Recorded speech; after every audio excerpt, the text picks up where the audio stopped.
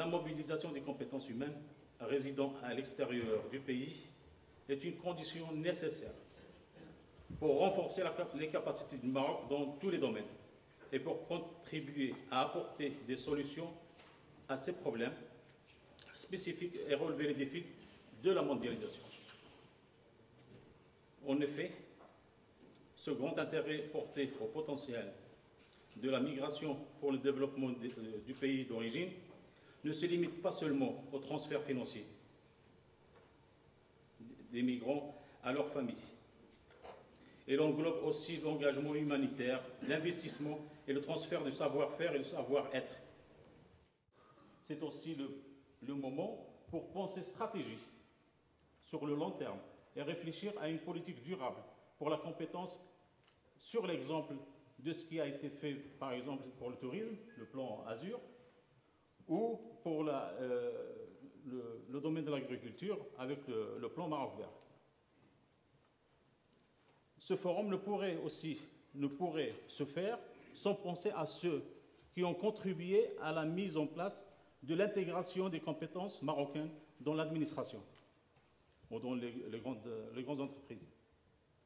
À leur tête, feu Abdelaziz Bozian Belfray, le patriote des Lumières. Ça, c'est un, titre.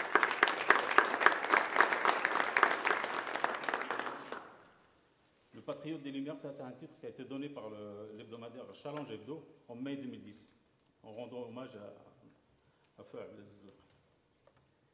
Il était à l'origine de l'accompagnement des centaines d'ingénieurs de très haut niveau pour rejoindre l'administration.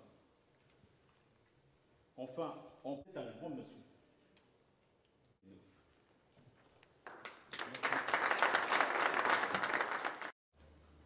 On a dit aux Français, votre TGV ne circulera jamais au Mali.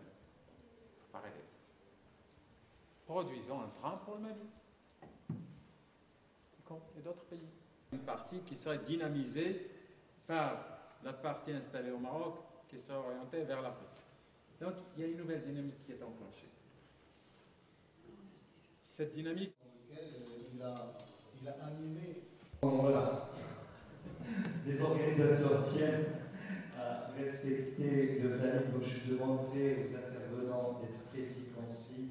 Euh, voilà, euh, pour le, ministère chargé des Marocains résidant à l'étranger, c'est Monsieur Bolossé, secrétaire général du ministère, qui prendra la parole. Parce que c'était le berceau, c'était la ville de, de donc on nous offre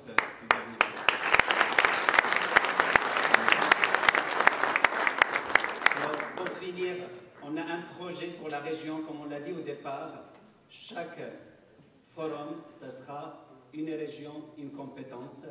Nous, nous invitons la région d'Oriental, nous avons un projet et le président de l'association Transfert et Compétences, Mustafa Turki, va présenter ce projet au, directeur de l'agence d'Oriental pour le suivre parce qu'avec les discussions avec M. Bouchich, avec M. Lombarki, il y avait une intention de suivre notre projet, de mobiliser les compétences pour la région de l'Oriental.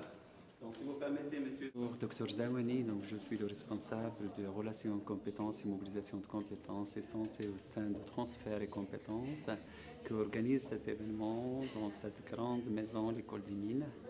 Euh, le premier forum, premier parce que c'est un forum qui regroupe les compétences et les tissus associatifs.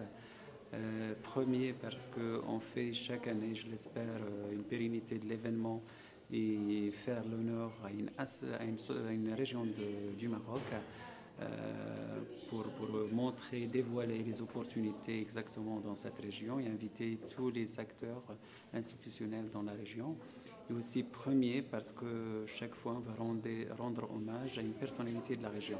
Cette année on a choisi Simzian Boufré de l'Oriental qui pour nous un symbole c'est euh, une personne qui a fait beaucoup de choses pour mobiliser les compétences.